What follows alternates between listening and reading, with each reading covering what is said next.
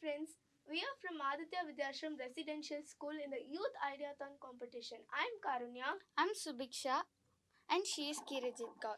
Today we made a project which is bu- budget friendly. And the introduction.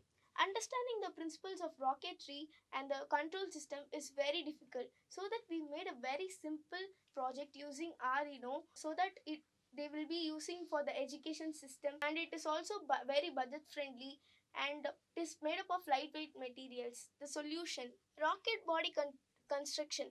We used uh, with the lightweight materials and the control system. We used the servo motors and the propulsion to to experience the upthrust. The telemetry the, to the wireless connection to the rocket and the recovery system to for the parachute developing and the sa- for the safe land.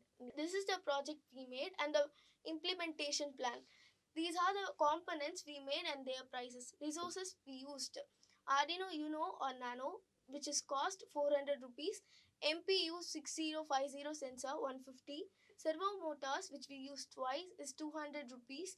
Bluetooth module 150.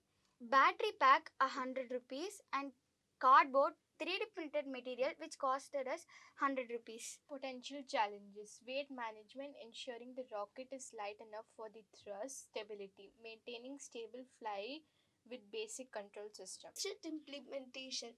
That is only 1000. So we made it uh, yet it is still cost effective but it is useful for children who thrive to pursue their car- careers in engineering. Thank you.